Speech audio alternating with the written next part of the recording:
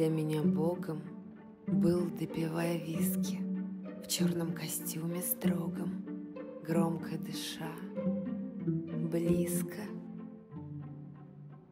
Он говорил мало, но молчал о многом.